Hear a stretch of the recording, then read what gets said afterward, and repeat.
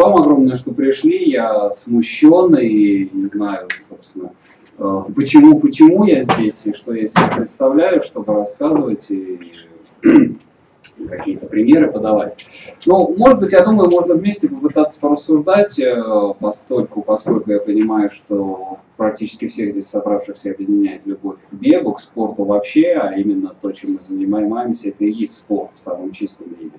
Да, не профессиональный спорт, а спорт в том виде, в каком он был задуман там 150 где-то лет назад в Британии, как именно а, зона страстного любительства, да, когда ты становишься, совершенствуешь свое тело, укрепляешь свой дух, оставаясь при этом, так сказать, профессионалом в некой другой области, но ты тратишь какое-то время и энергию на, для цели вот этого совершенствования. Такая очень британская, очень университетская, очень аристократическая идея. Вот, и в этом смысле, э, поскольку, мы все здесь спортсмены, э, большинство, да, я так предполагаю, то вот можно вместе порассуждать, собственно, почему мы этим занимаемся и что нас э, к этому подвигает. Мне самому это очень интересно, потому что это одна из тех вещей, которыми я занимаюсь, в том числе и в Высшей школе экономики, и на телевидении, и на радио, и на радио, я думаю, мы скоро сделаем программу. А, я очень часто обращаюсь к спортивной теме в своих э, радиопередачах, радио Финам программа «Археология», сейчас она три раза в неделю выходит. 99,6, 8 вечера, если кто-то. А, нет, в принципе, хорошее радио, без не то, что, так сказать, self-advertising, а там хорошая, качественная музыка, ну, большинство здесь по, по нраву, такой классический рок, ну и достаточно интересные разговорные линейки.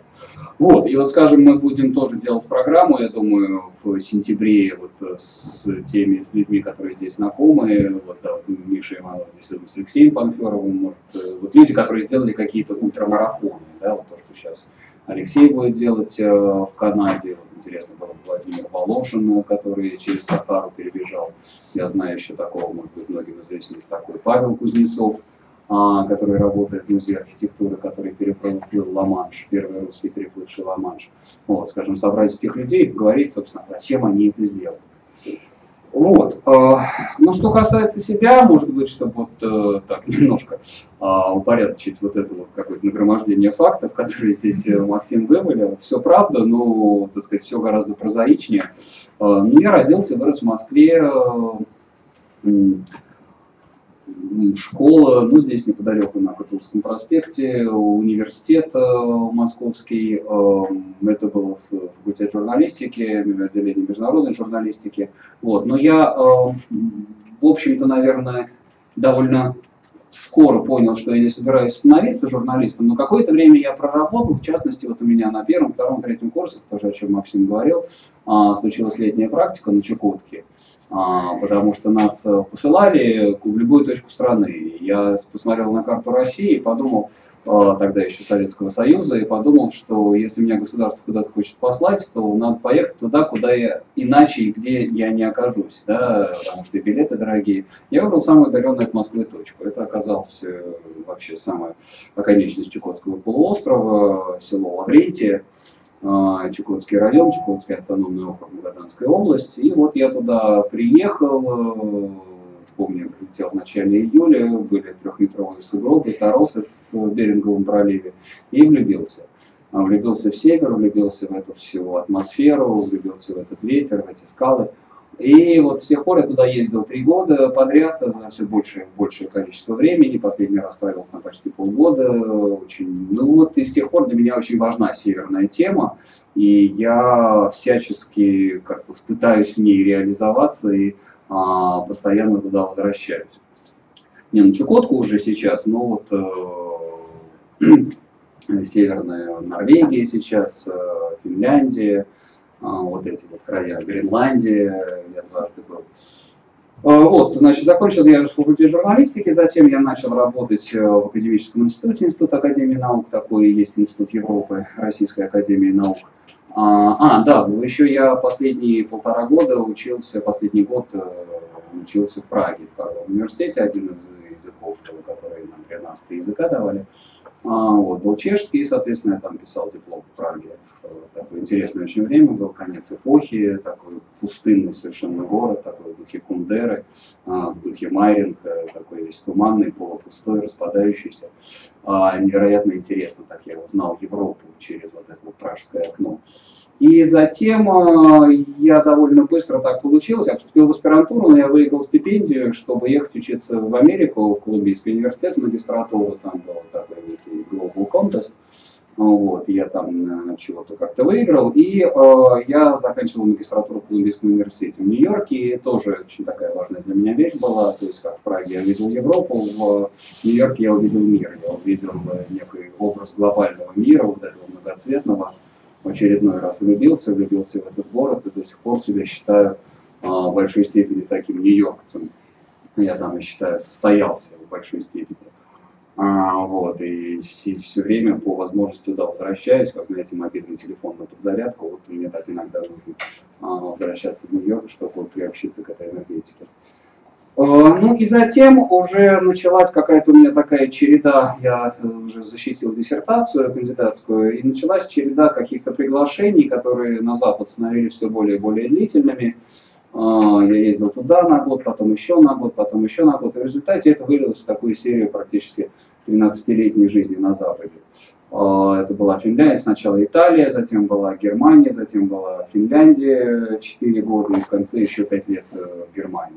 Германия уже в таком очень спортивном месте, спортивный город, э, регион Южная Бавария, город Гармиш-Парнкерхен, который все, наверное, знаете, столица гитлеровской зимней Олимпиады 1936 года, и сейчас это место, где проходит Кубок один из этапов Кубка мира по горным лыжам, ну и вообще такая известная спортивная метка. Вот. И я там прожил, преподавал в международном колледже, то есть я работал на Западе, я преподавал в различных э, университетах и занимался исследовательской работой. Но последняя позиция была уже чисто преподавательской. Но в какой-то момент, в начале 2000-х, я осознал, что, собственно, ну да, можно всю жизнь так прожить и, так сказать, достаточно безбедно и что-то там преподавать, но хочется какого-то драйва, изменения, менять свою жизнь, менять жизнь вокруг себя.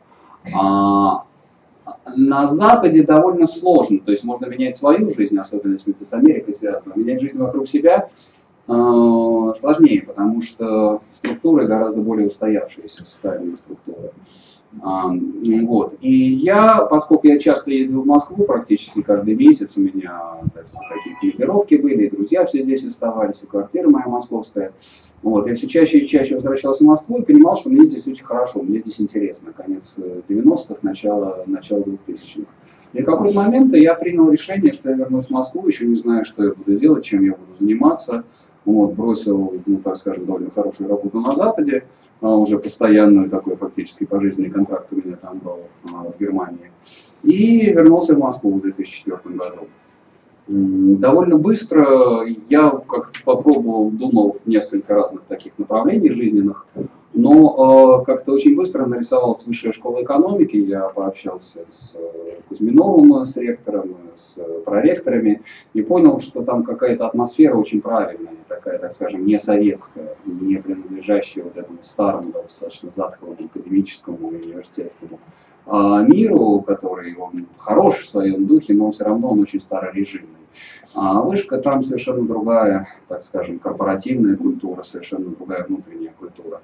А, вот. И, соответственно, я, они меня позвали туда на профессорскую должность. Надо здесь подчеркнуть, что все это профессор, профессор, но я, так сказать, профессор, это не звание, да, это должность моя. Вот, чтобы стать званием, это, наверное, надо защитить докторскую, а как защитить докторскую, когда ты, наверное, надо делать. Вот. Э, а, так что вот я уже скоро 10 лет как работаю в вышке, невероятно счастлив этому факту, потому что это очень удобное место для работы а, потому что очень большая свобода дается. То есть я читаю свои курсы, у меня есть два курса в год, у меня там какое-то количество аспирантов, там дипломных работ, ТТ, ученые советы, научная работа, но это не требует моего постоянного присутствия. То есть я там бываю только когда я читаю свои лекции, или когда там ученый совет, или защиты какие-нибудь.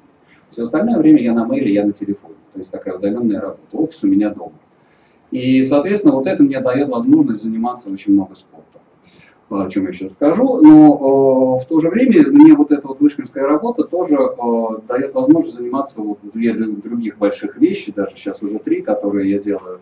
Это медийные разные проекты, и ни один из них я как бы сам не придумал, мне просто звонили люди и предлагали, как мне позвонили с телеканала «Культура», и сказали, вот вы не хотите ли попробовать. А, ну, там у меня был некий телевизионный дебют, меня один из студентов, который стал продюсером в программе «Гордона», меня сосватали в одну программу «Гордона» на Первом канале, я как туда пришел, и так достаточно срослось. Хорошо получилось, э, и вроде как заметили, там я был в течение часового эфира. После этого посыпались, ну не посыпались, но было много предложений с телевидения. И, конечно, я не мог отказаться от телеканала «Культура», который я считаю, ну так, самым достойным из того, что есть на, телевидении, мне не стыдно. Потому что, в принципе, я не, не очень люблю афишировать, что я работаю на телевидении, но э, как бы не чувствую такой телевизионной корпоративной идентичности. Но канал культуры это отдельная статья, и мне кажется, что он делает, создает очень большое общественное благо. А, вот. И так мы прирабатывались друг к другу. Сначала я думал полностью свою программу сделать, это не получилось, потому что нужен, конечно, очень большой телевизионный опыт, понимание формата, режиссуры, сценарного дела. И в результате я пришел в уже готовую без меня существовавшую программу «Власть факта», и уже какой шестой год, что ли, сейчас фактически в ней работаю. Вот сейчас мы уже на новый сезон снимаем программу. Это историческая программа, которая выходит раз в неделю. Сейчас она по вторникам выходит в 8 вечера. Вот. И мы исследуем такие вопросы, ну, как бы большие а, явления цивилизации а, или там российской истории. Ну, я не знаю, там, фашизм или там расизм или там, я не знаю, Первая мировая война. И мы берем несколько сюжетов, приглашаем гостей, и вот э, я там комментирую сюжеты, веду беседы с гостями. Очень интересно, я сам очень много, многому учусь в процессе. Потом нарисовалось радио, позвали меня вести программу на Финам ФМ. Сначала была еженедельная, потом стала ежедневная, сейчас она три, наверное, вот будет с осени два раза в неделю. А, просто я не успеваю делать э, программу археологии. Это такая социология повседневности, социология там, большого города, городской жизни, в частности спортивные темы очень много описываются. Ну и потом уже самое последнее тоже как бы позвали и писать колонки для ведомостей, для Forbes, и вот сейчас я очень много тоже этим занимаюсь, практически каждую неделю где-то какая-то новая колонка выходит. Ну вот такая вот деятельность, и а, я очень рад, что я вернулся в Россию, очень рад, что я вернулся в Москву, потому что это какое-то такое пространство самореализации, пространство полноценной коммуникации, которого я не мог получить на Западе. И для меня это входит в понятие качества жизни более высокого. То есть, как ни парадоксально, для меня здесь, я считаю, в Москве более высокое качество жизни потому что это не обязательно качество продуктов, качество бензина, которое ест твоя машина, качество продуктов, которые ты ешь, качество медицинского обслуживания дорог. Я все это знаю. Как бы, я жил там, я жил здесь, меня как бы не, не удивишь э, свинцовыми мерзостями российской жизни. А, но при этом я понимаю, что те вещи, которые здесь удается делать, и тот контакт со студентами там, или со слушателями радийными, которые здесь налаживается, а, он дает возможность гораздо большей степени вот что-то делать, что-то пытаться менять вокруг себя то, чего э, на Западе, наверное, не получалось. Э, ну, в частности, скажем, такая вещь, вот это, то, что Максим упомянул, мы делаем э, уже 7 лет летние и зимние школы. У меня есть такая серия школ, называется Escapes from Modernity, побеги из современности. Вот. Я придумываю такие скейпы, собственно, те места, где я бывал и где люди, вероятно, не бывали. Вот одно из них Лапландия, это биостанция Хельсинского университета, 500 километров за полярным кругом. Вот сейчас в августе мы уже седьмой раз туда отправляемся. А, там 20 э, российских и 10 иностранных студентов. Там, вот мы занимаем эту биостанцию, и там живем 7-10 дней, и у нас там дискуссии, мы фильмы обсуждаем, мы какие-то там проекты, презентации делаем, лекции. А, и одновременно ходим в сопки, ходим в тундру, а, там лекция одна вообще в тундре происходит, на там, три границы в одной точке встречаются, Финляндия, Швеция, Норвегия. А, вот, и рассматриваем как бы современную цивилизацию с точки зрения устойчивого развития, с точки зрения экологии, с точки зрения там, новых понятий территориальности, границ, суверенитета. Это очень интересно, выезжать в такие места для того, чтобы по-новому взглянуть на современный мир. Ну и такие же школы в Баварии, вот в Гармише я делал, вот сейчас ее прекратил, мы ее перенесли, сейчас она в Эстонии, в Потепе, в таком спортивном месте. Она привязана к лыжному марафону, который я каждый год пробегаю вот этот тартовский лыжный марафон. Вот. Ну и заодно, так сказать, везу туда студентов, вытаскиваю их на лыжах, они катаются там все утро на лыжах. Обязательно половина дня посвящена спорту в этих школах. А, вот. И вторая половина дня у нас какие-то дискуссии. В Каталонии делали такую школу, такой крестьянский блок, в Барселоне снимали. А, в Америке сейчас будем делать, в Коннектикуте. Ну, в общем, вот это все как-то возможно здесь делать удается, потому что есть люди, есть интерес, есть, в общем-то, даже платежеспособный спрос, то есть люди стоящие, готовые там. Это абсолютно неформальная вещь, вышка это даже не поддерживает, не спонсирует, это я делаю сам со своим, так сказать, аспирантом, учеником, и вот мы вдвоем эту всю фигню тянем, там уже школ 15 таких прошло. Вот. Ну, что касается спорта. Спорт, э, я считаю, э, такая очень диалектическая вещь, э, потому что, с одной стороны, конечно, это огромная затрата энергии, сил, времени. Подумать иногда, если бы все это да, использовать в мирных целях, да, всю эту, всю эту энергию. А, вот. Но с другой стороны, понимаешь, что тут какая-то такое производится, какая-то такая мотивация, и такой стержень жизни, что а, все остальное, о чем я рассказал, может быть, если бы не был спорт, оно бы и рассыпалось. А, вот.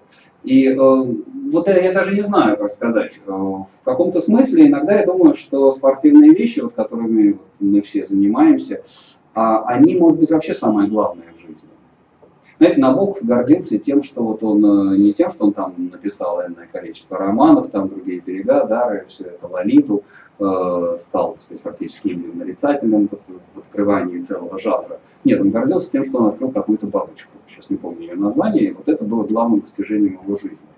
И вот точно так же я считаю, что э, э, можно гордиться тем, что какие-то сделал, то есть оставаясь профессионалом и состоявшись профессионально в разных совершенно областях, ты э, можешь э, гордиться и должен прежде всего гордиться тем, что вот тебе удалось сделать в твоей непрофессиональной области, оставаясь любителем. Потому что любительство-то оно, пожалуй, больше всего и ценно. Я помню одно, такой для меня очень любопытный персонаж, э, Олег Тиньков. Я помню одно интервью, какая-то журналистка его там, спрашивает, пытает молодых журналистов, ну, чего самое главное, самое главное достижение в вашей, вашей жизни? А, ну, ожидается, он скажет, вот там банк создал, это, систему платежную создал, еще что-то создал. Вот. А он говорит, знаете, я проехал тур Швейцарии он тогда с командой был, с этой Стеньковской, и он, они его взяли, он тренировался, ну, много очень на велосипеде катается, он тренировался с ними, и он просто в команде тупо финишировал тур Швейцарии. Но это протуровская, протуровская гонка по горам. То есть, понимаете, вот э, те, кто понимает, просто доехать, да, уложиться в лимит времени, это уже на всю жизнь. А на чем ты понимаешь? Нет, ну я имею в виду не спорт, а это то, что, ну как говорит, выиграли. А, вот. Выиграли, понимаешь, я доехал, я просто переехал в команде. А еще, это главное, да, говорит, это главное, что было в моей жизни. Это главное достижение моей жизни. Вот. И мне кажется, очень такой правильный подход, э, потому что все остальное, э, оно как бы само собой разумеется. А, обычная жизнь, там, семья, еще что-то. А, а, с другой стороны, вот эти вещи, они э, создают некий такой виртуальный стержень, на котором держатся все остальные. А, проекты. В частности, вот мне, может быть, удается э, успевать делать все эти вещи, о которых я сейчас рассказал, а, отчасти потому, что я занимаюсь спортом. А, откуда берется время? Ну да, Максим правильно сказал, я как-то с годами выяснил, что можно мало спать. И ничего, вот вы знаете, ну, сегодня мне удалось поспать даже меньше 4 часов, ну так вышло, я очень, поздно лег, потому что немножко заснуть не мог. Да. 46. А, вот, и я так сплю примерно лет э, с 33, наверное, то есть уже лет 15, наверное, 12-15 лет я так много сплю. А, ну вот, сегодня я спал где-то 3,5, может 4 часа, э, и сегодня там тренировки были, там проехал 100 километров на велосипеде, и после этого 15 километров пробежал. А вот, после этого еще пару дел в городе, и вот к вам приехал. И как бы, ну, вставать трудно, конечно, утро, утро кошмарно. Вот, пока я не выпью большую кружку кофе, вот, э, жизнь ужасна. Но, но потом ничего, как-то тело, оно так, покряхтит, покряхтит. То есть я понимаю, наверное, если бы я спал 8 часов, может быть, там и результаты были бы лучше. Нет, ну, когда есть очень какие-то серьезные вещи, например, вот у меня там телевизионные съемки, а снимается 4 программы, иногда бывает даже 5 программ пакет. Это, конечно, это ад. Это, там, в течение 12 часов ты непрерывно просто переодеваешь там рубашки, пиджаки и непрерывно снимаешься. Даже поесть нет времени, чудовищное напряжение.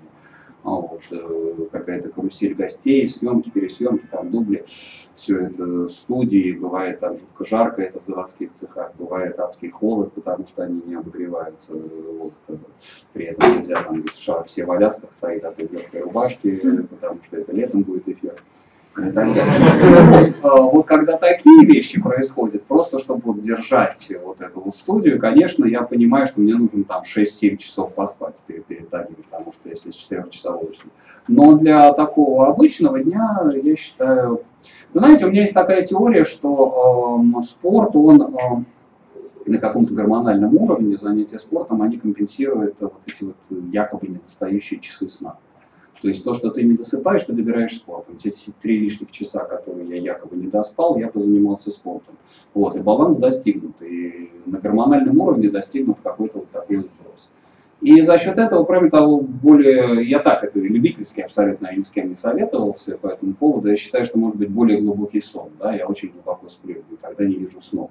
Это вот самый глубокий сон, когда ты снов не видишь. Э, вот эта фаза глубокого сна, потому что сны начинаются ближе к концу, когда вот это начинается REM-фаза, быстро начинают там глаза дергаться, и вот тут начинается а, эта самая запись э, вот этой короткой информации в мозг, и пере, пере, переживаются события, которые были в твоей жизни, там более или менее глубокие, они начинают как на жесткий диск записываться из оперативной памяти на жесткий диск.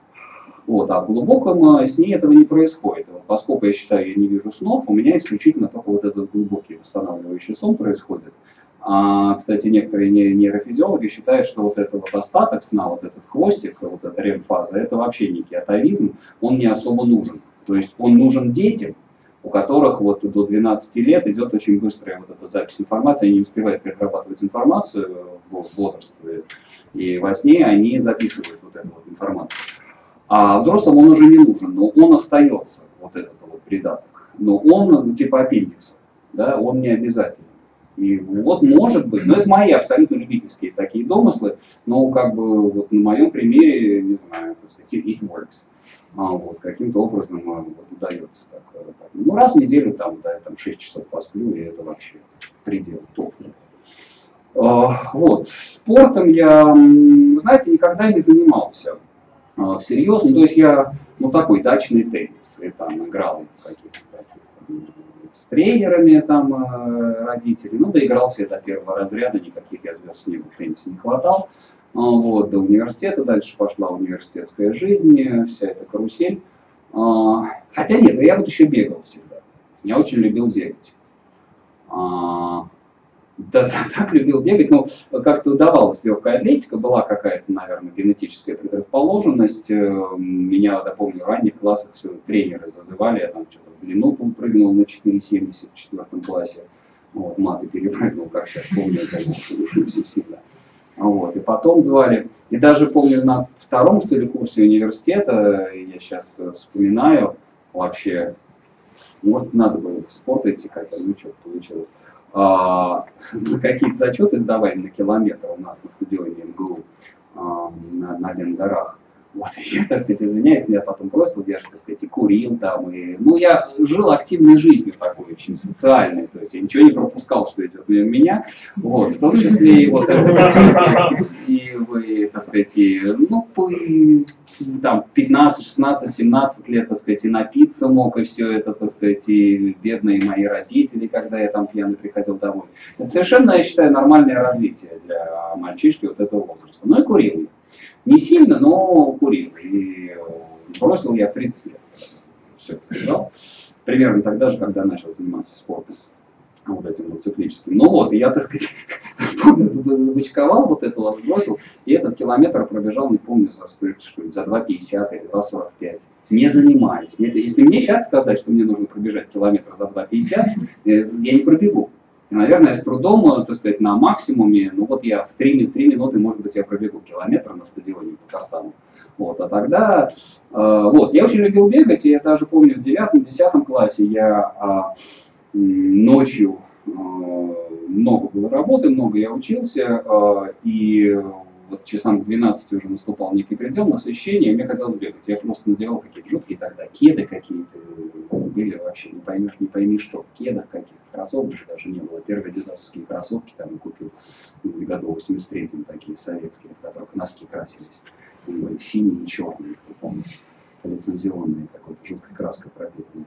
Вот, и до этого не было никаких. Я просто надевал эти кеды и бежал два часа по набережной, там, по Бережковской до Ленгор. Безопасное время было достаточно. Вот, совершенно в голову ничего не приходило. Там 13-14-летний парень там бегал с 12 до 2 ночи вот, с Кутузовского до Ленгора и обратно. А, вот, я любил бегать. Но ничего из этого не происходило. Ну вот, и так жизнь шла-шла, и потом я э, уже оказался в Финляндии, уже оказался... Э, ну и лыжи, да, лыжи я тоже любил. Меня вытаскивали всегда родители на лыжи. Мама, я в основном рос с мамой, с мамой, с бабушкой. Э, вот. Мама меня вытаскивала с пятилетнего возраста, все выходные, вот мы выезжали, трехгорка, раздоры, вот эти вот места. А, и вот такие лыжные прогулки большие. И я тоже вот иногда зимой, когда бегать не удавалось, я просто надевал лыжи, и вот у нас скверик был под домом на Кутузовском, я там накручивал круги, там, не знаю, там, натаптывал себе круг там метров 300, наверное, и нарезал его там, в течение полутора часов. Лыжный такой накат. А, и где-то годам к 30 я понял, что мне интересно вот заняться этим в каким-то более таком серьезном формате. И вот началось, э, я начал более серьезно бегать, купил себе уже такие нормальные кроссовки, нормальное беговое оборудование, а, лыжное. Произошло, наверное, последний год жизни в Финляндии, да, и потом уже я, и потом уже я оказался, конечно, в этой, в Южной Баварии. Вот. Но там ну, просто смешно уже было жить в Гармише и заниматься спортом. Вот, э, у меня так получилось, у меня там дом был э, свой большой, прямо в Альпах, на берегу Альпийского озера, на Горного озера, на высоте 1000 метров. Прямо от крыльца начиналось 250 километров лыжни, которые ратраком каждый день клали. А, вот, кругом, мы, не знаю, сеть дорог, дорожек. И вот э, все это понеслось, началось.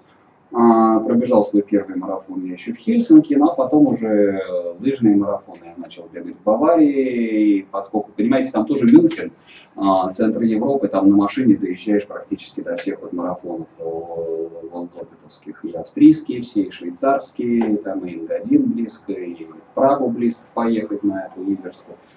И я вот за 2-3 года фактически сделал два вот этих круговых лопетовских марафонов. Ну, как-то очень быстро вот это все пошло, потому что, опять-таки, я всегда придерживался такого свободного режима работы. То есть я всегда там три дня, полдня посвящаю спорту, и остальное время я работаю, и, там, и ночью работаю, там, до трех, до четырех ночи. То есть я свои профессиональные обязанности выполняю, но просто я сам распоряжаюсь своим временем. И поэтому э, мне так все и удавалось.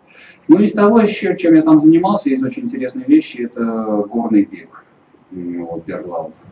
А, то есть э, это такая жуткая интересная, наверное, может быть, к этому вернусь еще как-то. А, я считаю, это один из самых интересных видов спорта. Ну, во-первых, чисто а, как бы ты узнаешь, ты видишь очень много, потому что ты бывает стартуешь внизу, где там плюс 25 при легкой маечке, а финишируешь там на леднике. Э, потому что иногда по высоте ты 3000 набираешь. Э, ну, однажды 3000 набрал, это был вот этот Сармат, Сарматский марафон. Э, вот, ну, даже там 2000, 2500 обычный набор на высоты на горном марафоне, через все климатические зоны, через Альпийские луга, через сосновые леса, дальше на Марену выходишь, дальше по леднику бежишь, а ты все в той же мальчике. Вот, только в перчатках бегаешь еще. И, э, ну вот, и горный бег очень хорошо давался, плюс он очень нетравматический. Бег, как всем вам известно, достаточно травматический вид спорта, вот, и все, чем я занимаюсь, э, вот, потому, поскольку, ну, тут, естественно, все эти, правильно бегать, вот, поздний метод бега. Я бегаю неправильно, а я бегаю как лыжник, я бегаю тяжело, с пятки, все это, так сказать. Вот, вам не советую. Учитесь, смотрите, как правильно сейчас учится бегать.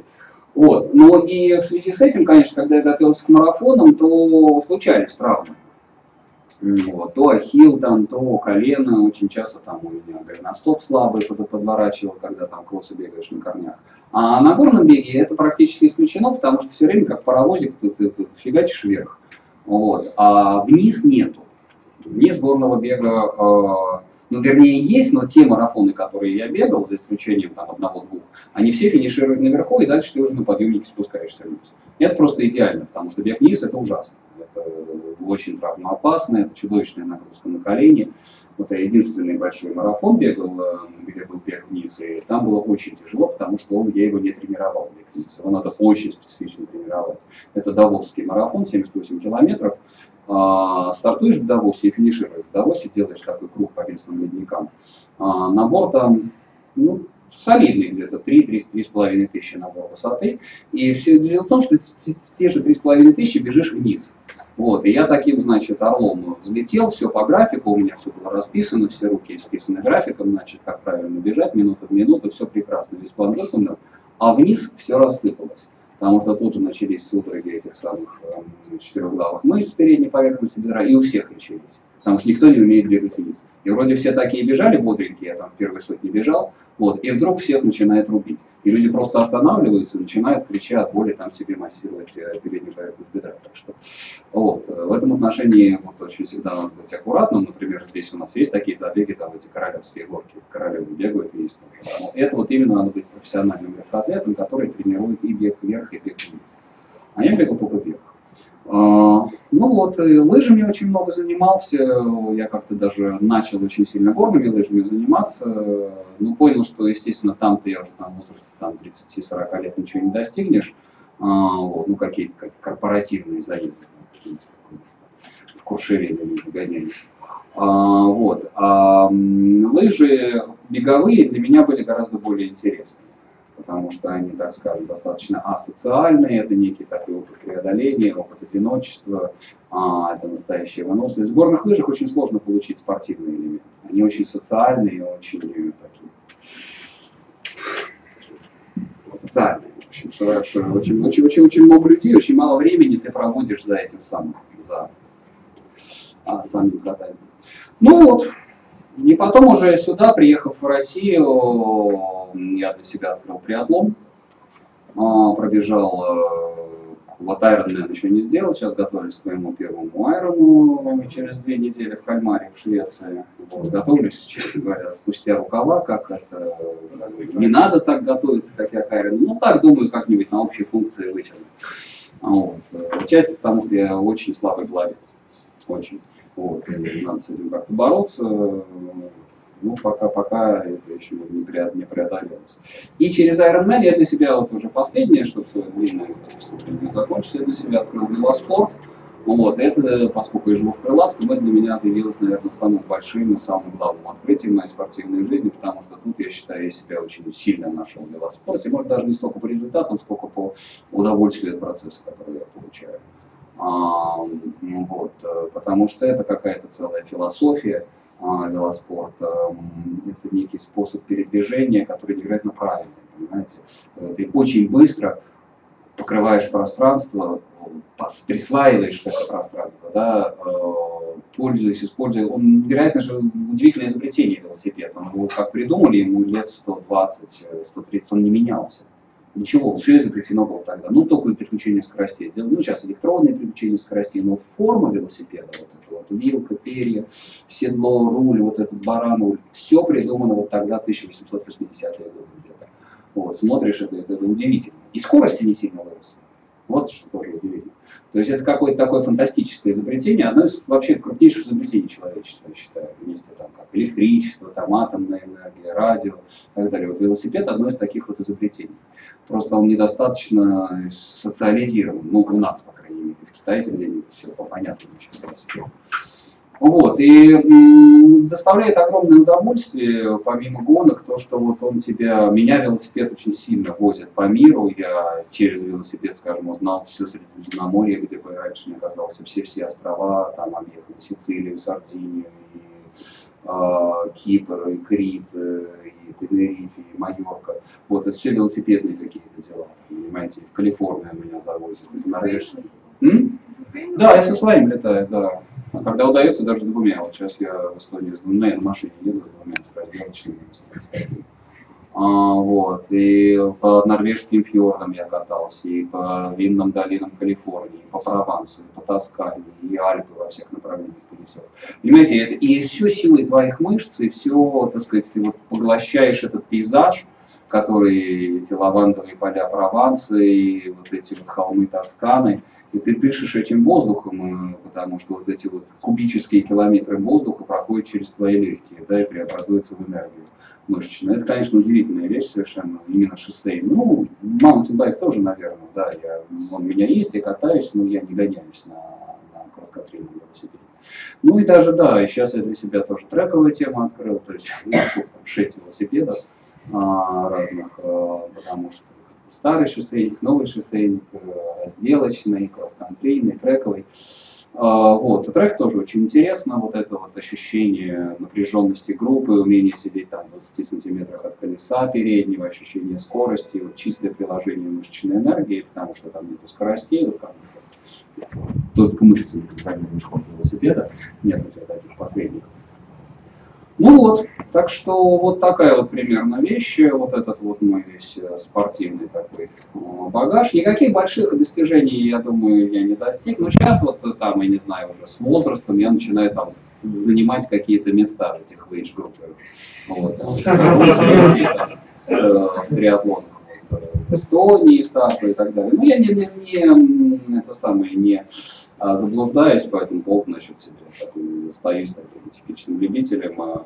А, вот. Наверное, больше лучшее достижения моих все-таки в лыжах. Естественнее всего даются лыжи. Это как бы моя первая специализация. И меня как 4-5 лет поставили на лыжи. Вот для меня лыжи классический ход, особенно не конек, а именно классику. Это вот, э, ну да, какие-то вот я иногда на некоторых гонках World Lop, это, наверное, лучшие, когда в лучшей форме был, лет 10 тому назад, а, я мог там 5 7 минутах э, финишировать на марафоне позади там олимпийских чемпионов. То есть где-то в тридцатке, в сороковке, с 30-40 лучших заезжать на, на гонках Worldloppet а. Ну, такие они достаточно быстро. Если был сильный рельеф, то, конечно, они меня гораздо быстрее отцепили. Ну вот, э, ну тоже, что, понимаете, марафон я где-то 2.50 примерно бегаю. Ну вот хороший полумарафон, у меня любимая дистанция полумарафон, час 15 полумарафон бегаю, то есть я могу долго бежать достаточно с, с темпом 3.30 на километр. Вот, но это, чтобы понимать, час 15 это, например, тянет, не тянет даже на второй разряд по легкой атлетике. Понимаете, второй разряд в полумарафоне это час 13. Вот, э, вот, э, как бы для любителей это может быть неплохо, но когда начинаешь мерить себя вот этой профессиональной линейкой, ты понимаешь, как, где ты и что. Ну и бог с ним, я думаю. Ну и не надо, потому что вот, очень важно для меня, для своего самоощущения, оставаться любителем, не залезать в эти профессиональные вещи а, сильно, именно воспринимать спорт как спорт, как то, что было придумано в Англии 150 лет назад. Вот. Я буду рад ответить на ваши вопросы. А в каком качестве бегаете и ездите вот по миру, там, по Европе? Просто сами захотели поехать или какой-то марафон там? Как это происходит? Ну как, я регистрируюсь, я захожу на сайт. Э, некоторые марафоны надо регистрироваться за год, скажем, Ironman. Некоторые у тебя есть три минуты, чтобы ну, зарегистрироваться. Ну, сейчас на велосипеде, вы говорите, вы объехали там. Mm-hmm. А, нет, ну это такие вкатки длинные. Вот, на велосипеде есть соревнования. Да, это ну, это да, или один я катаюсь. Нет, я очень часто один, я очень много один катаюсь. Или с моим приятелем, у меня хороший друг есть. А, он меня, кстати, подсадил на триатлон на велосипед, э, Иван Жутенев. Вот, у него есть такая знаменитая история, как я стал айронменом, как человек себя, так сказать, наружу и наизнанку вывернул в Цюрихе, и я финишировал айронмен. Вот, и э, у него просто дом э, в Швейцарии, и я часто туда тоже могу приезжать, и вот, скажем, или мы с ним, или я сам езжу, ну или какие-то приятели просто вот сейчас ну, вот в Катка, например, вот, в этом году там две велосипедных катки было, я съездил на неделю в Турцию, а, очень, кстати, хорошо в апреле, как мне понравилось. Турция не советую, но просто хорошие люди были, сильная группа велогонов, там все эти наши там Диманов, Ткаченко, все эти гранды любительского велоспорта. А, вот, неделю там с ними катался. Ну, это дешево, в Турции там даже все это included, гостиница, перелет копеечный. И м, неделю на Майорке, майские на Майорке я тоже катался, скажем, там неделю, и потом в завершении половинку сделал э, Хафайрон. на Майорке был. Вот, в Пальме. Нет, не в Пальме, где он был? А? В Алькуте, в Алькуте, в Алькуте. Ну да, так что обычно я регистрируюсь на гонку, а скажем, перед гонкой я несколько дней беру и вот где-то там катаюсь. Да. Как с семьей все совместить? Как это совмещаете? Сложно, ну как сказать, семьи в данный момент нету. Довольно долго нету. Вот, я такой одиночка. А, я был женат, э, был такой эпизод в моей жизни, а, очень хороший, я думаю, что все разошлись очень довольны. И вот как раз когда Максим, Максим рассказывал, было замечательное свадебное путешествие. Мы а, решили расписаться в Нью-Йорке, а, поскольку оба очень а, любим этот город, и мы прилетели в Нью-Йорк, а там очень просто это сделать, если кто-то вдруг надумает, очень рекомендую. Так же, как и в Вегасе, очень просто. 24 часа ты приходишь там, с Сирихал, подаешь заявление, вот, нужно было 24 часа, и явиться через 24 часа и любые два свидетеля. Обычно люди в очереди со всего мира приезжают, и все друг друга свидетелями. Вот, абсолютно неформально, там, ни гостей, ни свидетелей. Это был 2000 год, это еще стояли башни-близнецы. Вот это вот, я помню, даже оплачивали в, в, там, внутри, э, в этих Twin Towers, башни-близнецах. Вот, и было а, прекрасное совершенно такое свадебное путешествие. Мы купили букет белых роз, и там такой есть Staten Island Ferry, а, вот, паромчик на Staten Island, который ходит. Самый красивый, мимо статуи свободы, он отходит от Манхэттена, и вот весь Манхэттен такой, как разворачивается в танце перед тобой. Вот, 25 центов стоит путешествие, раунд-трип. Вот, и вот 50 центов, а? Стоило. Стоило, да, сейчас они, по-моему, до 50 подняли, сейчас, по-моему, 50 центов. Когда я жил в Нью-Йорке, было 25 центов э, раунд-трип, можно не выходить с этого, с, а, с паромчика. Вот, и мы бросили букет белых роз. Вот, и после этого мы взяли джип и поехали поперек Америки. А, вот, э, машину взяли в Баффало и вот от Ниагары и до Санта-Моники, до Калифорнии. И просто я не бежал, конечно, я в этом смысле не Форест Гамп, я не бежал вот, но, но в тот момент я очень активно готовился к разным марафонам, и э, я в каждом месте мы останавливались, я в каждом месте, где мы останавливались, я пробегал там 30, 20-30 километров.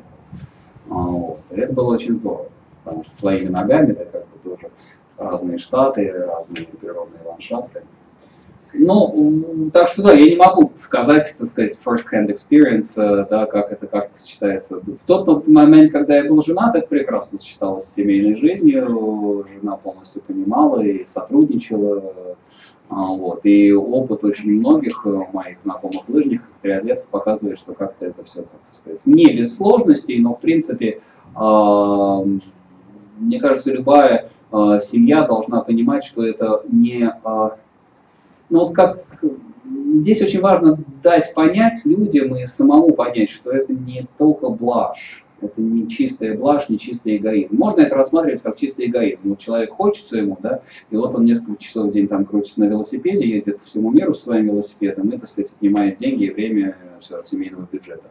Вот. А можно дать понять, что если бы этого не было, то, может, ничего вообще не было. Вот. Может быть, и бизнес не был бы таким успешным, может быть, и других вещей бы, и дети бы не так росли бы. А так дети тоже растут и видят, что можно жизнь организовывать вокруг каких-то таких сверхзадач, сверхцелей, на которые, к которым все остальное тоже пристегивается. Так что, да. Жена сама спортом не занималась? Занималась, она бегала, но она не спортсменка, она как бы из-за меня. Пробежала, поставила на лыжи, она в детстве легкой атлетикой занималась. У меня такой вопрос, связанный с методологией тренировок. Ага. Когда ты работал с тренером, или сейчас работаешь тренером, ты сам себе пишешь программу, то есть там видение на неделю, на месяц, используешь. Ничего. Вообще нет, ну при, примерно, ну как, я примерно представляю. Но честно говоря, здесь вот не надо с меня брать пример, наверное. Я абсолютно не технологично к этому сейчас отношусь. Когда я начинал, да, я использовал пульсометр, я смотрел зоны, я вел дневник. Ну где сейчас эти все дневники? Я все забросил. А, ну, я знаю, что, скажем, примерно я понимаю, как надо сделать. Понимаешь, надо сделать вкатку. Понимаешь, что в начале сезона там надо куда-то поехать набрать объем. Потом я понимаю, что надо сделать какие-то ряд ударных интервальных тренировок. Да? То есть э, надо побегать интервалы. Чтобы нормально разбежаться, надо пойти на стадион, там поработать хотя бы 4-5 раз на стадионе. Я сам прекрасно тоже понимаю, какие есть упражнения. Там 100, 200, 300, 400, 400, 200, 300, 100. Вот. Или там какие-то там или там 10, ну там не 10, э, там, ну да, 10 по 800, э, скажем, пробежать. Вот какие-то вот такие, или, скажем, когда бегаешь, что бегать в фортлеке. Ну то есть за эти годы просто набралось какой-то, начитал много литературы, и в принципе это все крутится вокруг одного и того же. Объем, интенсивность. Я так скажу, что с годами больше, наверное, надо делать упор на интенсивность, а не на объем. Объем я свой набрал, на объем как уже остался когда я выходил с утра из дома и мог там кататься, не знаю, 80 километров, все на лыжах стоял в тренировке, я могу на лыжах там 90 километров, 100 километров бывало, могу идти. Ну там просто останавливаешься, где-то есть эти какие-то фьюхты, там суп горячий какой-нибудь съешь, там э, чай, чай выпьешь, там засыпешь себе э, какого-то чая, подсунут, а, зальешь. Вот, так что эта база, я думаю, она уже заложена, и я не думаю, что она мне сейчас много дает. Сейчас я чувствую реальный эффект, причем даже и для длинных дистанций, от э, а, коротких ударных тренировок. Скажем, для лыж очень важно делать э, очень тяжелую вот, имитацию года. Вот у нас в Крылатском этот большой пупырь стоит, и вот, скажем, с палками в него забегать. Это очень тяжело. А, вот, особенно если там 10 раз, 15 раз делать с палками до конца, вот после этого сердце жалуется. Вот, ты чувствуешь, что реально сердце напряглось. Но эта работа, она необходима, потому что потом она тебе скажется в гонках. А, вот, так что, Миш, к сожалению, по таких э, циклах, ну, я как-то интуитивно выстраиваю, да, понимаю. На, на неделю, ты знаешь, что ты знаешь, знаешь ли ты, вот, я, да, она осталась три недели. Знаешь, да. Три недели. Ну, да, я к работе привязываюсь. Во-первых, у меня гонка через неделю, через 10 дней, это в Эстонии. Тристар. Вот, и да, Тристаровская, она сейчас Трисмайл называется, Тристар накрылся, по-моему, медным тазом что жаль, потому что для велосипедистов была отличная гонка формата 111. А, ну да, но я не буду, наверное, шустрить дней 5 перед гонкой. Вот. Ну вот сейчас, ну, вот, ну смотри, ну как вчера вечером я вот э, проплыл 4 километра а, в бассейне. Сегодня я проехал 100 на велосипеде, 15 пробежал. А, завтра, наверное, опять проплыву, в субботу проеду на велосипеде, в воскресенье длинный бег. Вот, на этом все закончится потом переезд в Эстонию, там, обустройство и так далее. После Эстонии я тоже ничего не буду делать, потому что там у меня будет летняя школа. А, вернее, нет, летнюю школу я возьму с собой велосипед, и я, наверное, ну, сделаю одну такую большую, там у меня очень красивая поездка по фьордам есть, вот, 160 километров, ну и пару раз по 100 километров проеду на шоссейный писатель, ну и сопку сбегаю. Нет, ну это небольшие какие-то, ну там часовой, там 40-минутный бег, вот такой, там, два часа на велосипеде. Не какие-то супер объемы. Такая это более-менее восстановительные тренировки. Эм, ну, то есть очень-очень приблизительно. Я понимаю, что нужно как-то чередовать э, короткие с длинными и э, чередовать виды спорта, чтобы разгружать э, не, не давать э, подряд ударную нагрузку на колени, на позвоночник. А зимой ты не? Зимой у меня только лыжи полностью. Вот я как бы вообще, я даже сегодня вот крутил, думал, что надо... Э, понимаете, для меня очень важно здесь э, вообще в этом во всем спорте, это некое нахождение баланса себя с окружающей средой. Вот, встраивание себя в окружающую среду, да, в четыре времени года а, в погоду, что любая погода тебе хороша, да, там э, люди там какой-нибудь ноябрь, дождь, слякоть, э, все стонут, в Фейсбуке статусы самоубийственные, вот, а тебе хорошо, потому что, потому что ты знаешь, что это вот, так сказать, ты можешь это преодолеть, надел какие-то гортексовские вещи, вот это поэтому всему побегал или побегал с палками в этих шиповках, а, куда-нибудь в подъем. И а, ты вот это вот все преодолел, и ты а, даже не преодолел, ты слился с природой. Вот, и для меня очень важно, что я полностью использую все сезоны. Вот у меня как бы зимний сезон идет, декабрь, январь, февраль, а, март примерно. Начиная с марта уже я больше начинаю подбегивать. Да, но я кручу то, что я говорил, я на треке сейчас катаюсь. У меня вот эту вторую зиму уже, сейчас я вообще три раза в неделю катаюсь на треке. Там очень хорошие тренировки получаются, там 60-70 километров, потом километров 5 бегаю. Там же, там же на треке. Вот. Потом э, первая половина сезона это велосипед и бег. Раньше для меня апрель, май были самый пик, пик формы, там беговой был. А потом с июня начинается велосипедный сезон, там Трансальп и так далее, июнь, июль, август. Ну и к август, сентябрь были такие триатлоны. И потом осенью уже кроссы, кроссы, кроссы, там соревнуешь, бегают какие-то кроссы, и кроссы тебя уже подводят к лыжам. Ну и так переходишь. Лыжи, бег, велосипед, триатлон, кросс, лыжи. И вот так вот, так сказать, э, как бы сезон за сезоном, год за годом. И я думаю, что не, а, остается очень живой интерес ко всем видам спорта. Ты успеваешь соскучиться по какому-то, соскучиться по бегу. Вот, вот раньше в апреле удавалось вырваться в Нью-Йорк. А, вот, и вот я первый раз бегал, потому что в Москве в апреле ужасный, вот такой первый хорошая пробежка, там уже в маечке можно, там в Нью-Йорке, в Центральном парке, это такое счастье, когда ты вот первый раз выбегаешь. Или там первый снег, когда ты уезжаешь куда-нибудь в Швейцарию, попадаешь.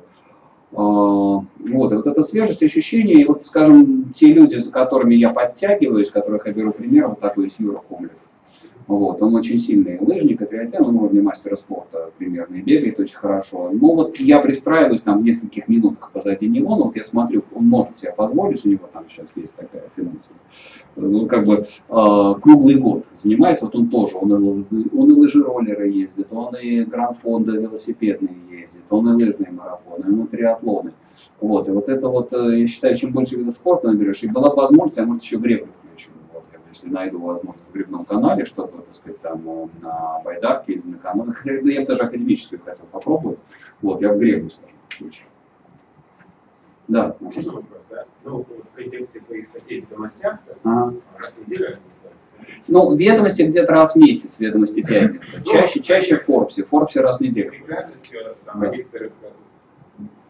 скажем так, особенностях российской жизни, ага. российской ментальности. Вот да. после э, воскресной победы Криса Фрума на Тур де Франции британской команды, ага. э, премьер-министр Великобритании, министр спорта, они в понедельник на работу приехали на велосипедах. Ага. Вот, и э, ну, Гардиан написали какие-то комментарии о том, как министр сказал э, спорту, что здорово, что второй раз британцы выиграли подряд, да. что это дает огромный толчок развитию э, велосипедного спорта в Великобритании. А министр ничего, просто в велосипеде и в каске работу. Вот. Как ты думаешь, в России через 150 лет это должно случиться? в принципе, не произойдет здесь. Очень, да, Максим, очень э, такой э, глубокий вопрос.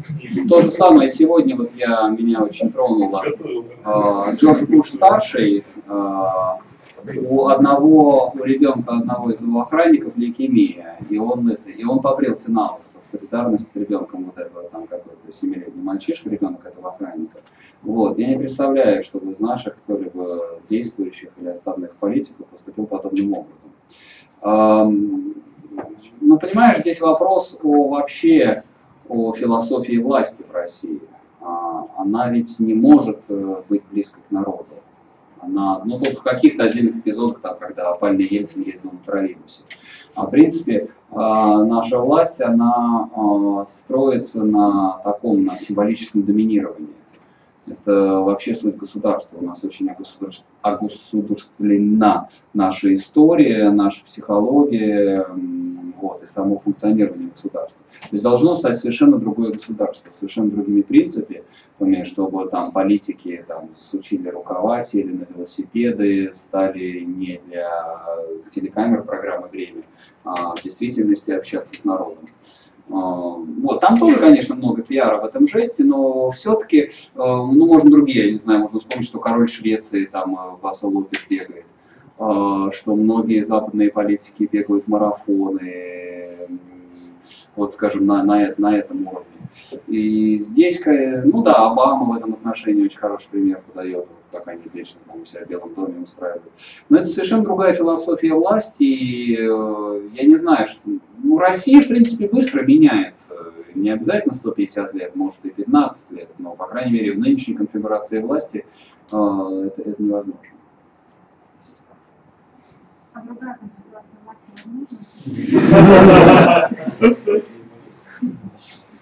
Ну, очень тяжелый вопрос. Вы знаете, чем больше я занимаюсь, чем больше я занимаюсь историей, тем больше я вижу, как вообще чудовищно закольцована русская история, как мы идем по вот этой как электрическая железная дорога. Катаемся по одному кругу, по одной и той же колее. Все воспроизводится. Вот сейчас, скажем, в нынешнем режиме я вижу все черты, которые были заложены при Иване Грозном полностью вот, ресурсные. Тут, ну, понимаете, вопрос политэкономии. Здесь мы от власти уже, если так марксистски смотреть, переходим на уровень а, а, экономики. Вот, и вопрос, э, дело все в политэкономии.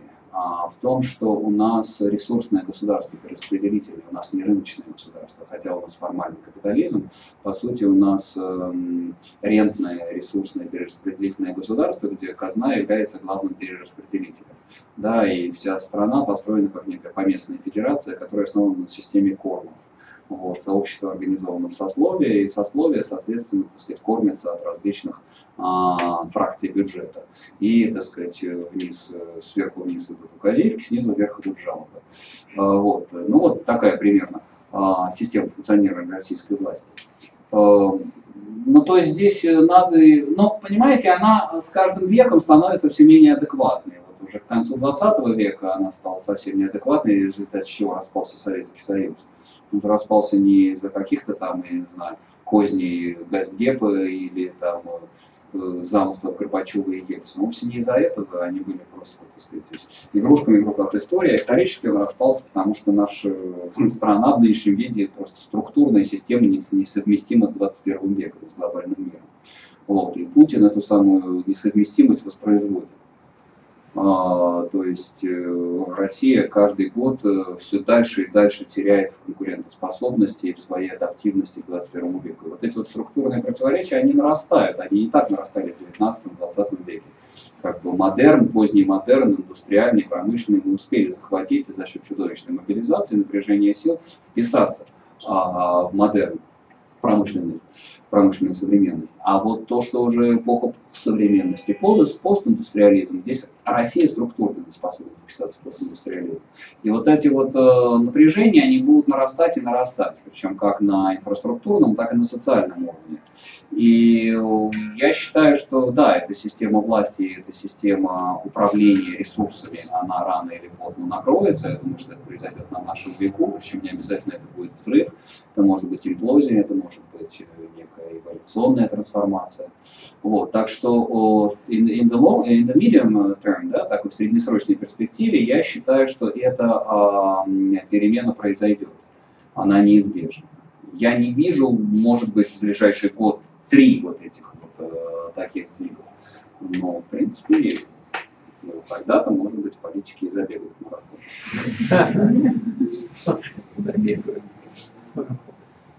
Да. Такой личный вопрос. Ваш режим сна, да? Вы по будильнику встаете или у вас уже организм выработался, что вы там больше 6 часов спать не можете? Ну да, больше 6 спать не могу, но у меня будильник есть, но я у меня с ним такие диалектические да, отношения с будильником. Ну, то есть я просыпаюсь по будильнику, и дальше я принимаю решение а, по самочувствию своему. Если я чувствую, что можно уже, да, а если чувствую, что или какое-то у меня ответственное мероприятие на день, я говорю, что еще полчаса нужно поспать. Скажем, полчаса. То есть я смотрю, смотрю, что за окном творится. Вот. Если солнце, то меня это как-то очень будоражит, и я тогда встаю. Если дождик, то можно еще пол, пол, ну еще полчаса максимум, не то, что я там потом засыпающий на 3 часа. Но в принципе обычно э, просыпаюсь очень часто даже за 5 секунд до будильника. Внутренний какой-то такой секундомер есть, и вот э, за 5 секунд до будильника просыпаюсь. А вот у вас э, ну, сколько времени потребовалось, чтобы организм привык к такому ритму? Ну, это естественно, и не то, что как, как Рахметов какой-то себя ломал, и тогда мы спал на гвоздях. А, нет, э, я, естественно, как-то со временем понял, просто просыпаешься раньше, раньше, раньше и думаешь, а зачем? А? Днем не спите. Нет, потому что, знаете, Наполеон вроде бы, что тоже мало да. но кто его знает, чем он днем живет. Ну, я думаю, да, у тоже. Ну да, да, пока не видят историки, да, да. Пока не видят Торле, да. Нет, нет. В нем бывает сонливость, э, накатывает очень сильная, но там можно преодолеть это. Я кофе очень много пью. Ну, скажем, большой кофе, у меня дома кофейная машина, и весь такой, ну, не, не крепкий-крепкий, а такой кафе-латте, латте или капучино, такую большую кружку делаю, и меня это очень... А алкоголь да, да. Знаете, красное-красное вино. Очень, ну не очень много, но это я без него, ну, там, если за рулем, естественно, нет, но вот если не предстоит поездка на машине, то и обедаю, и ужинаю. Ну, летом больше с белым, и часто с белым. Много красного вина, обязательно перед гонкой красное вино.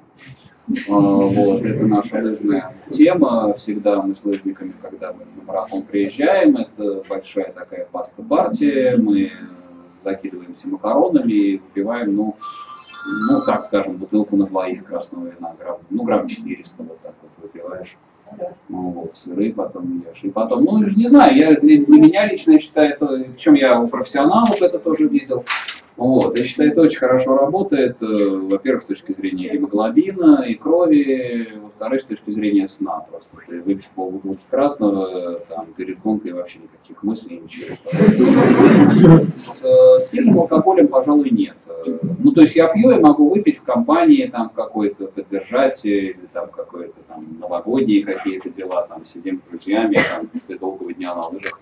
Ну, конечно, какой-нибудь там, не знаю, там, шнапс какой-нибудь закажем, или виски, там друг хороший приехал, там полночи можем посидеть, бутылку виски. Ну, бутылку нет, пожалуй, много, я сейчас не выпью. Пол, пол, бутылки, пол бутылки виски нет.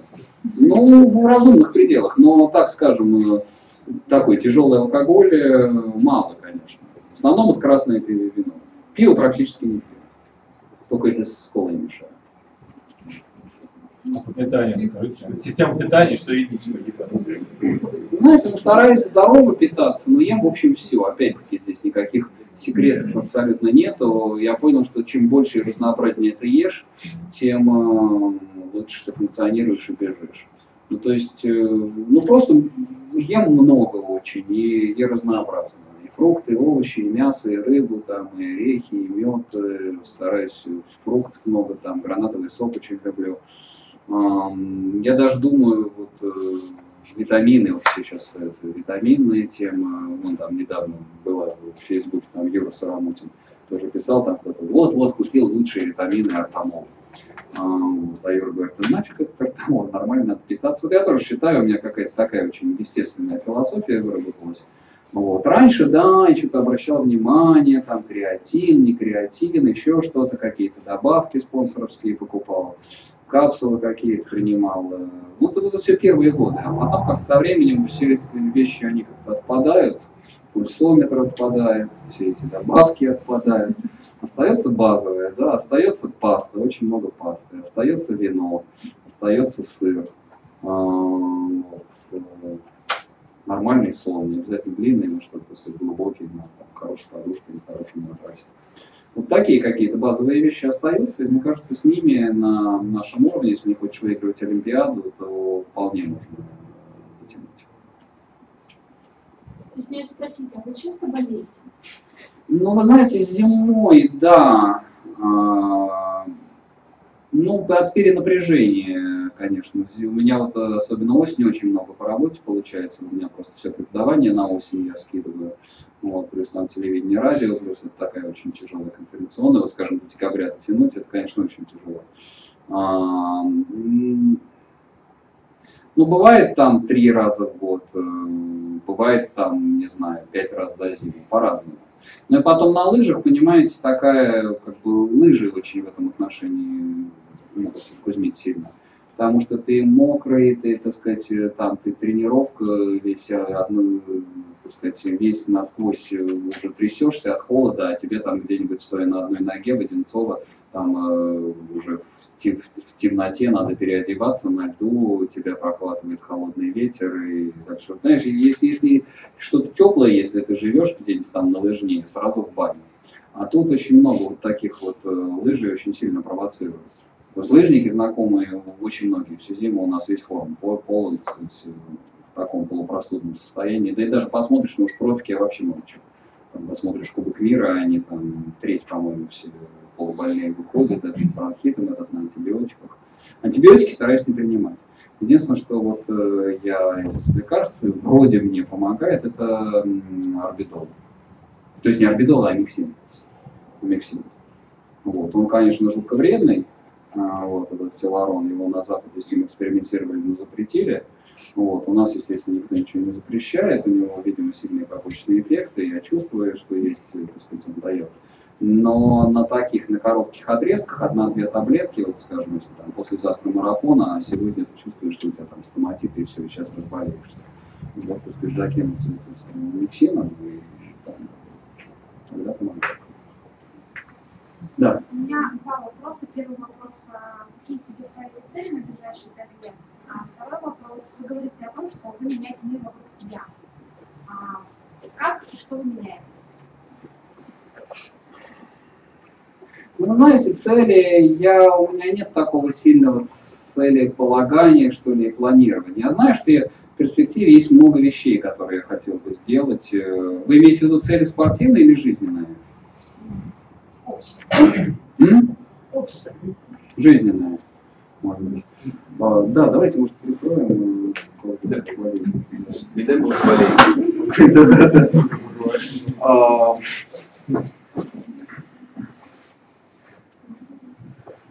Ну, я хочу вот эту вот э, расширить э, серию своих э, школ. То есть у меня есть там американская школа, там еще ряд проектов есть. Я хочу, чтобы это становилось шире.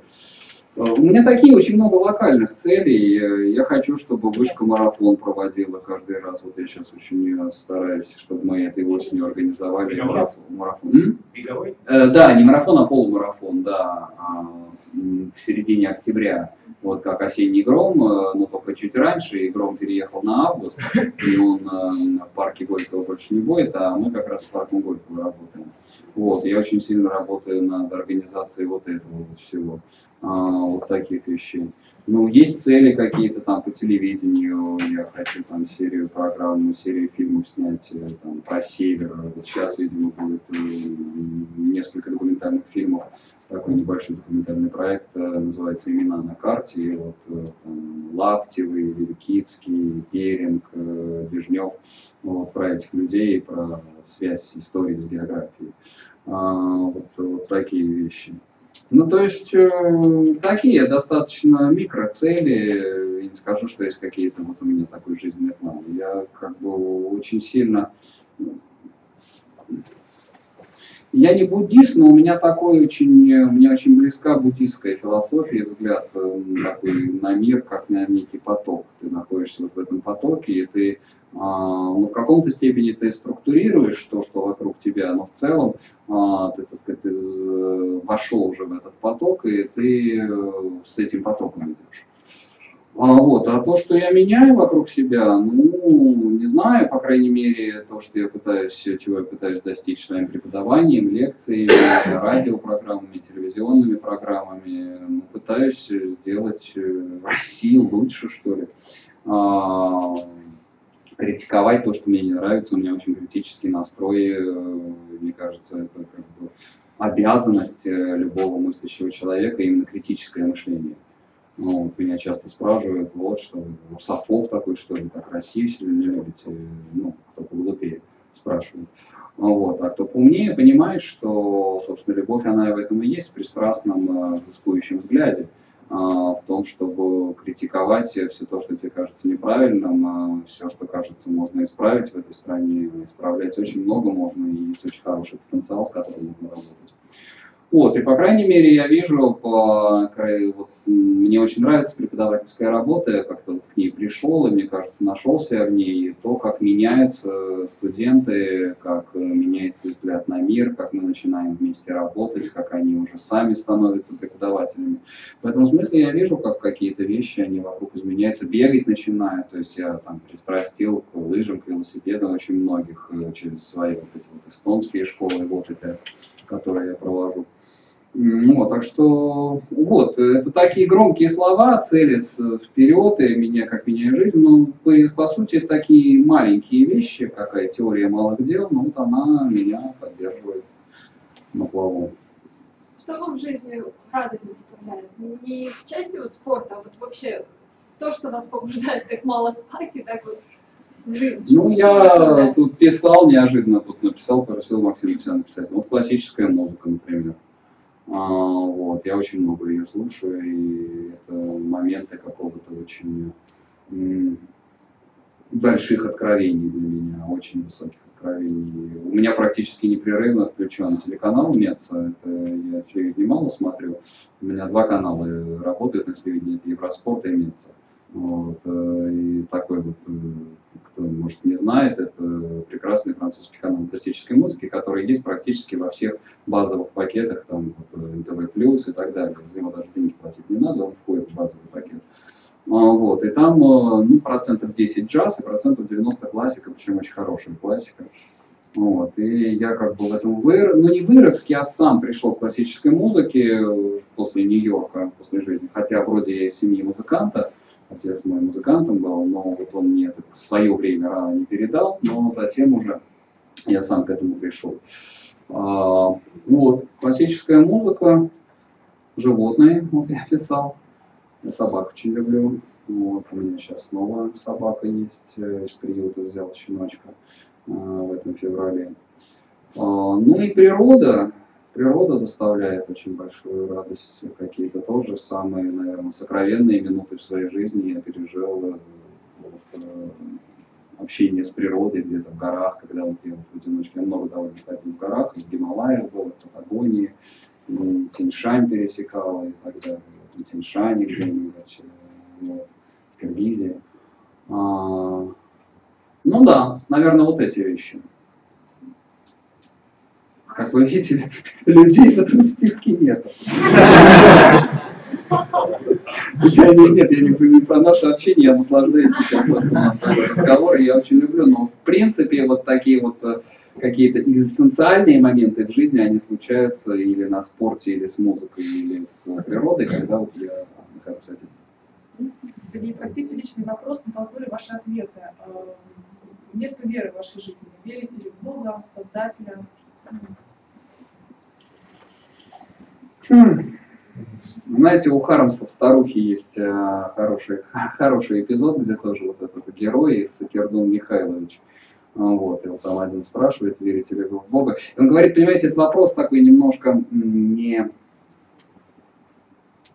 сложный, я не готов на него отвечать на этот вопрос. Ну, так скажем, в традицион... я, я верю, я верю, но не в того Бога, в которого, да, в которого а, которого преподносит церковь. И я сейчас, в данный момент, э, когда-то я был достаточно близок, я, у меня диссертация была по вопросам католичества. Э, вот, я сам крестился в 23 года, был не крещен, но я отошел от этого, от всего, и сейчас я, с, так сказать, в традиционном смысле я абсолютно не религиозный, и абсолютно не воцерковленный, и очень ироничный, скептический, агностически настроенный человек. Но это не значит, что я не верю. Потому что сейчас это все речь идет о религии, а если вопрос о вере, да, я верю, но это такая очень Пожалуй, не готов сейчас об этом говорить. Э, тут много и христианства, и буддизма, и каких-то личных вещей, и пантеизма, наверное. Вот. Э, ну, то есть я понимаю, что есть что-то помимо человеческого существования, частью какого-то проекта, чего я являюсь, и я стараюсь слышать этот замысел и исполнять его. Но церковь мне для этого не нужна. Можно я вернусь к женщинам? Говорили, что ваших друзей, спортсменов, которые реализовали себя в других частях жизни, у них есть жены. А какие они? Они такие же крутые и самореализовавшиеся, или они более тихие и спокойные? Разные. Вы знаете, все разные. Но чисто, чтобы совсем спортсмен, э, спортсменок жен, пожалуй, нет. Пожалуй, ну есть спортивные пары, там какой-нибудь там, там Роман, Надежда Парамонова а, вот, которых все здесь, наверное, знают, ну, очень мало. Нет, э, разные, здесь нет никакого правила.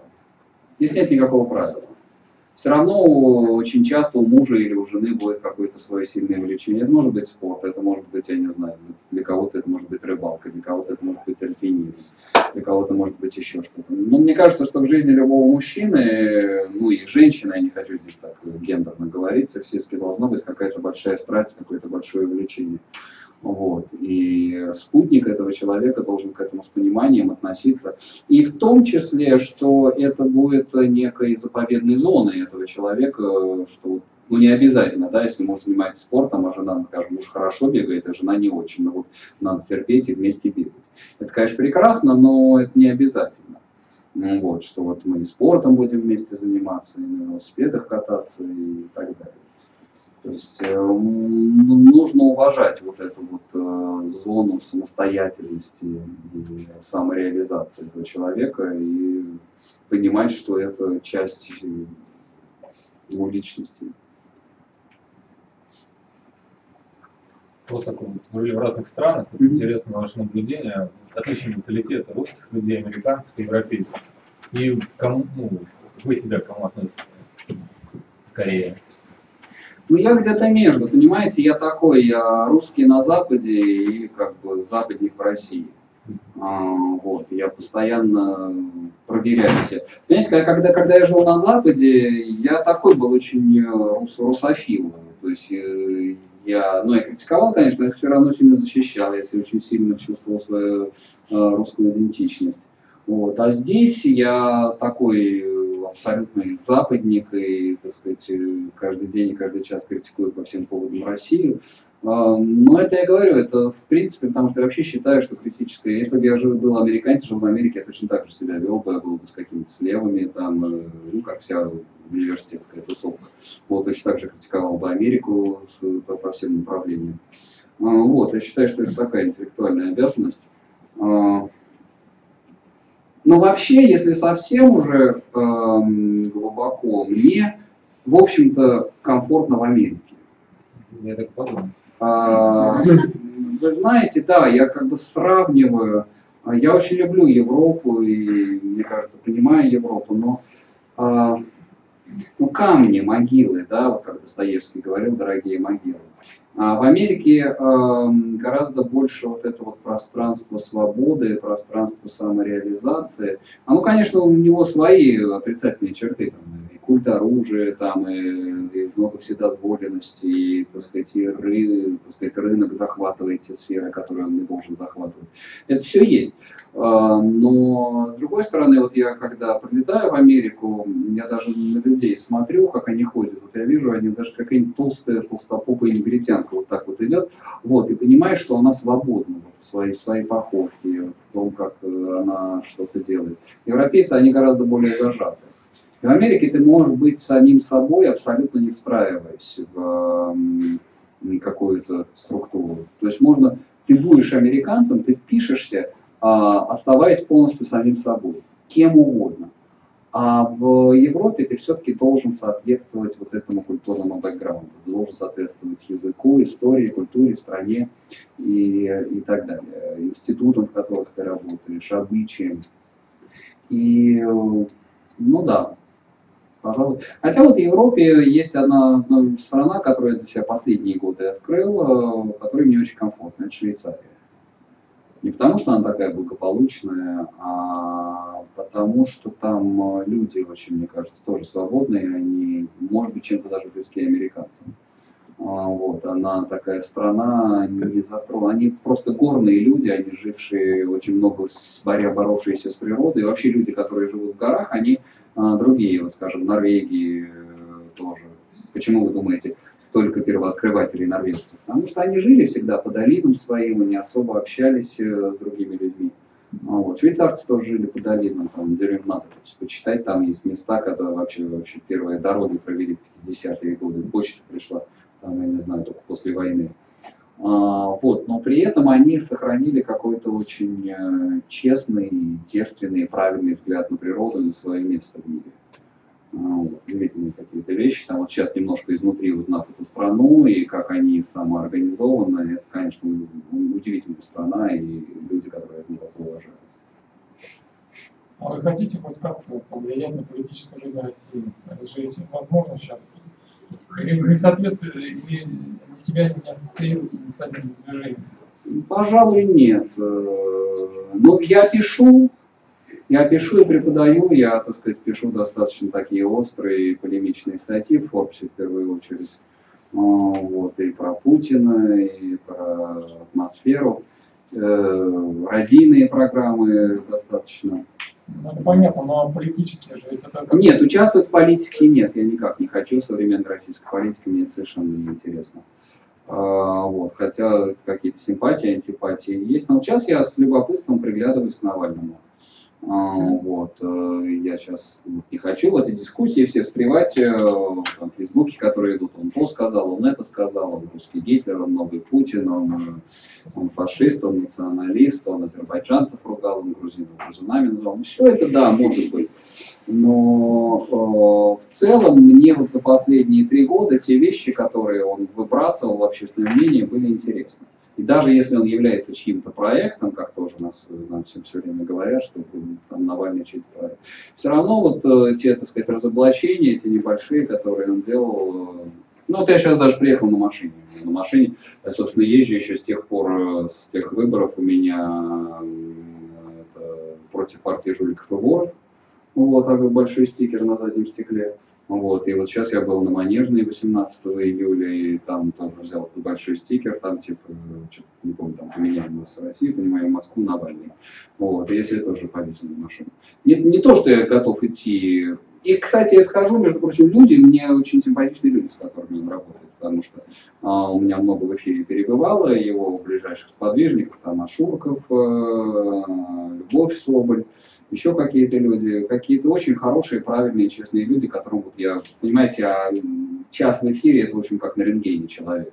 Ты понимаешь, кто где врет, кто где не врет. И вот э, я их, мне кажется, видел, и очень они мне понравились, эти люди. Это для меня тоже свидетельство того, что вот что-то, что-то тут есть. И может быть, действительно какая-то есть зацепка для нашей жизни, для нашей политики. Может, это все рассыпется прахом в сентябре, он, ну, так сказать, получит там 5% на выборах, и после этого отправится по этапу все возможно. Понимаете, с Путиным, с этой властью возможно все, как бы, ограничений нет. А, вот, э, no, no holds bar, то, что называется. Ну да, никакие приемы не запрещены. А, это, мы, это, мы это уже узнали, я ко всему готов в этом смысле. Вот, ну, посмотрим, что будет с Навальным.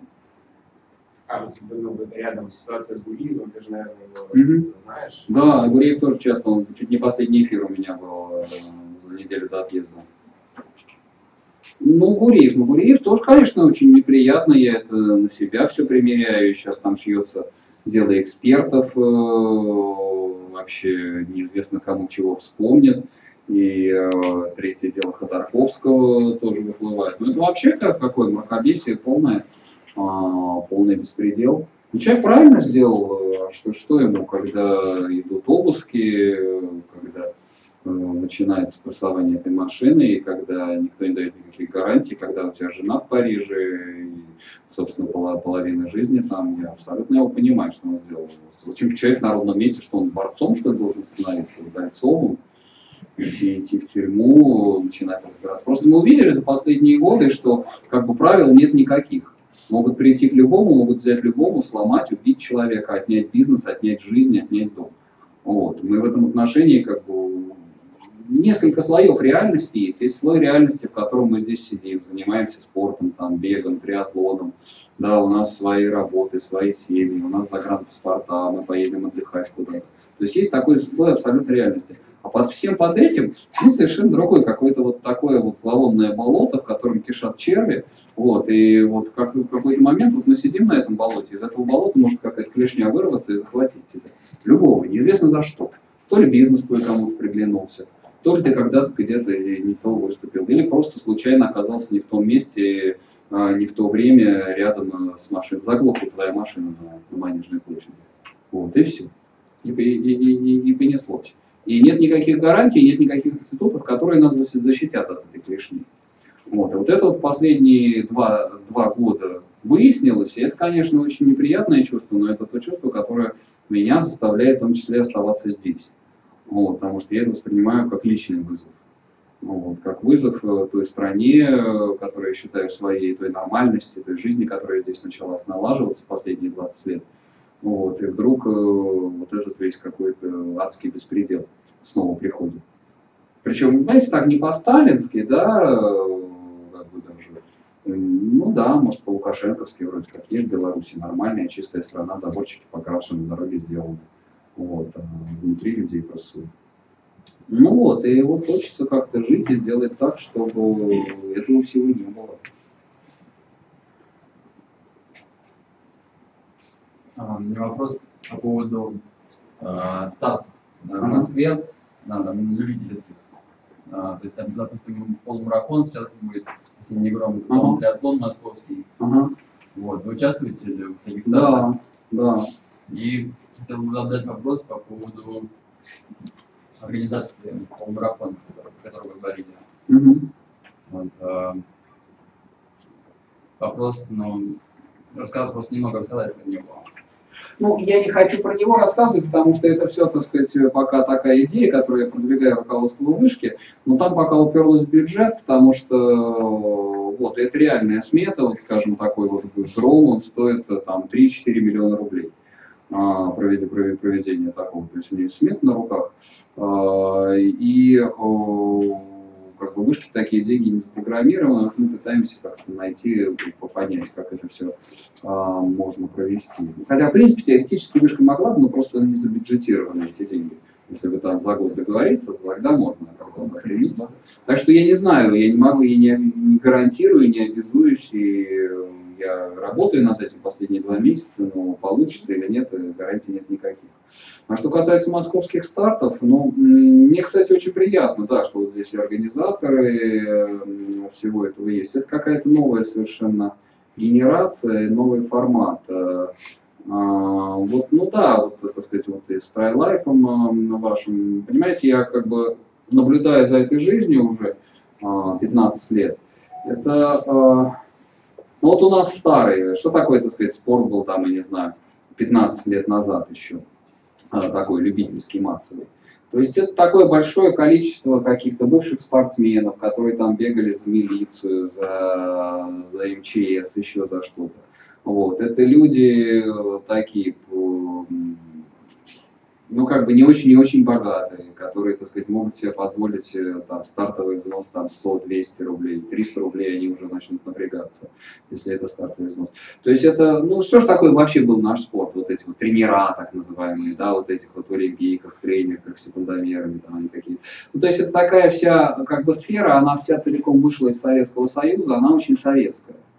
А, вот. А тут э, появилась какая-то вот эта вот новая такая не советская, антисоветская спортивная жизнь.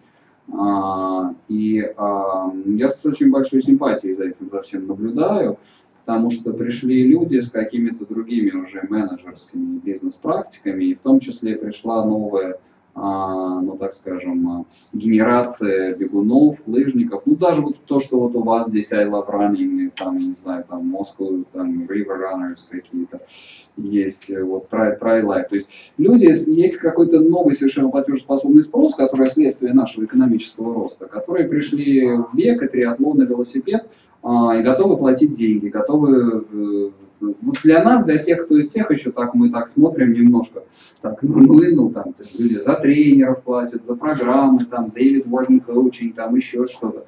То есть какие-то вот эти вот вещи начинаются, которых раньше не было, потому что мы такие, знаете, пуристы, там, не знаю, не совсем уж какие-то старики в тренингах с бамбуковыми палками, которые вот. ну, ну так, люди, которые э, разводят вот это вот все и, э, и, деньги, и деньги.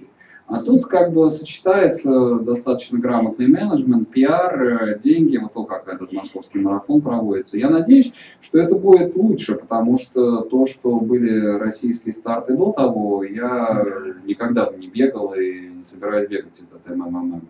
Когда, ну, понимаете, ну, когда там бегал в Берлине, еще, еще где-то марафоны, когда ты бежишь через ревущий там город и миллион людей на улицах выходит.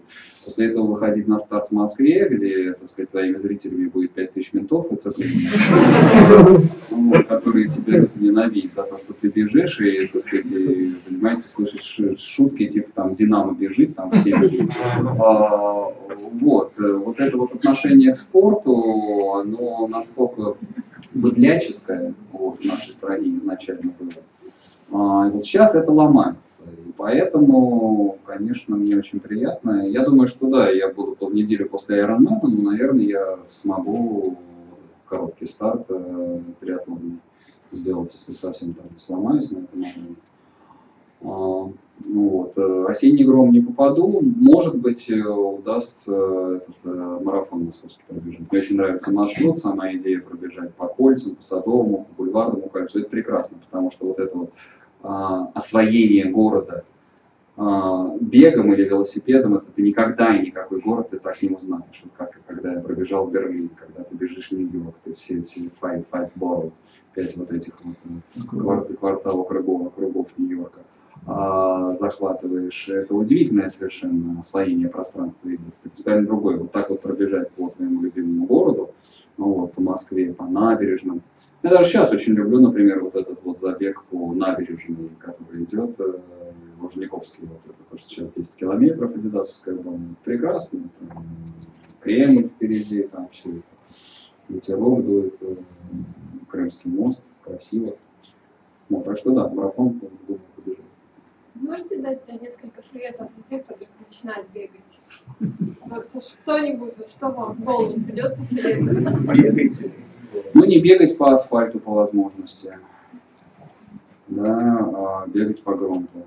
Вот это принято. Особенно, когда начинаете, понимаете? Вот я тоже помню, когда я вот начинал, к первому марафону готовился, я себе очень сильно разбил колени.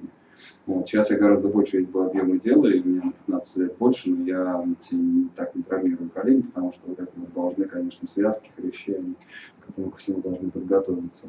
Помните, что бег это, в принципе, очень, я считаю, из того, что я делал, самый травматический вид спорта.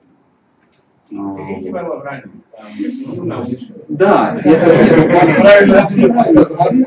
Вы знаете, очень важна, очень важна а, первичная инвестиция в технику и в а, правильное, потому что маленький вот такой, да, инпут, маленькое вложение, но дальнейшая ваша жизнь, она пойдет гораздо по более правильному пути, как ракету с самого начала запустить, вот, в любом виде спорта, в плавании, понимаете, там, горных лыжах. Сколько я вижу горных лыжах? Люди год за годом ездят вот куда-нибудь на, на эти свои горы и катаются как чайники. Так сказать, задом тормозят, отклячив, отклячив задницу, так сказать, едут, едут галсами. Год за годом.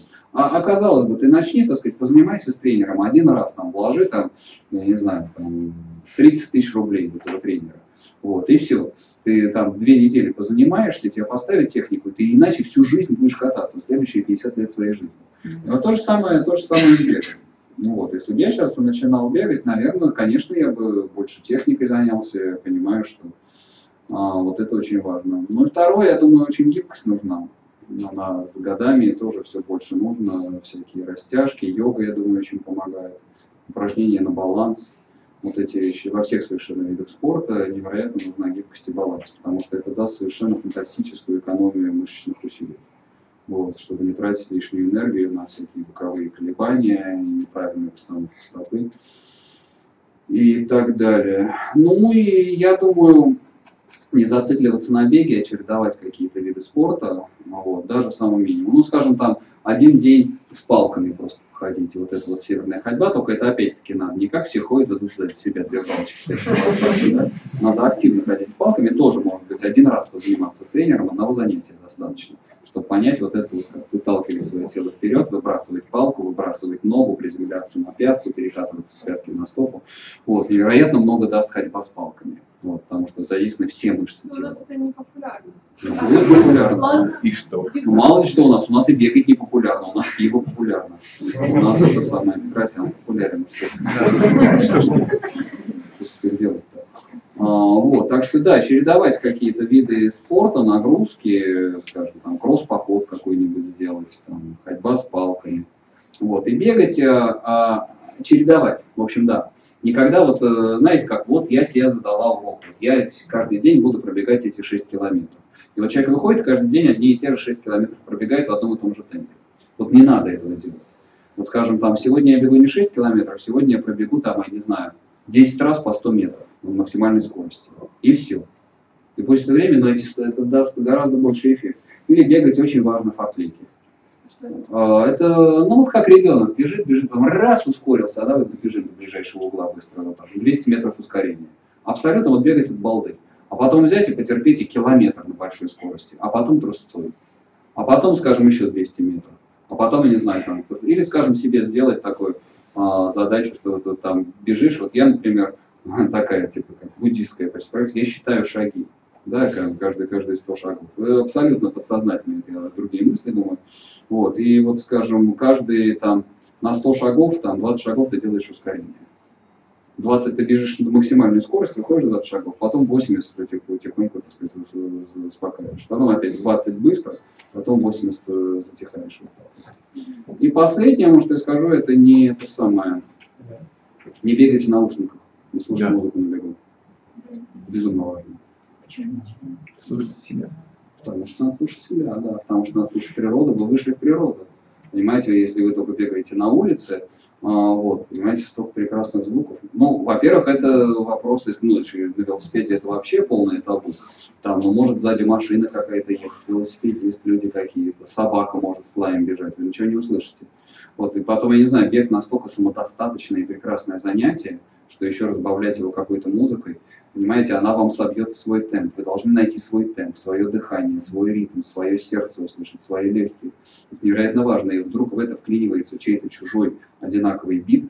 То есть я вот категорически против э, бега и вообще спорта с наушниками. Ну, в зале, не знаю, может быть, я в зал вообще не хожу никогда.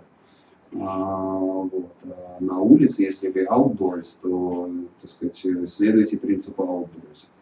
Никаких внешних как утро, вечер? Вот ну да как лучше, это индивидуальные ритмы. У меня и так, и так. У меня больше получается вечер. Вот, тренировки. Ну хотя, ну вот сегодня вот с утра, бывает с утра на сборах, когда я, когда полностью себя могу. Ну просто с утра встаешь уже там всякие мейлы смотришь и так далее, втягиваешься и какую-то базовую работу делаешь. Там, что я вообще мало сплю.